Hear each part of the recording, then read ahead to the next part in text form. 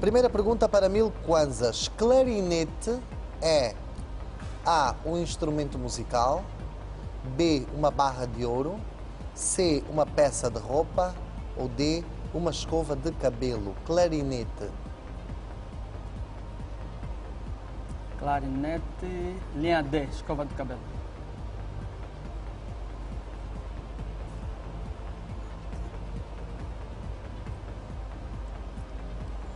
Já ouviu falar alguma vez no clarinete? Já, mas eh, vagamente não consegui, não consigo puxar bem aquilo que é o, o significado próprio. Agora, instrumento musical não será. Barra de ouro também não. Peça de roupa ou escova de cabelo. Clarinete é uma peça de roupa.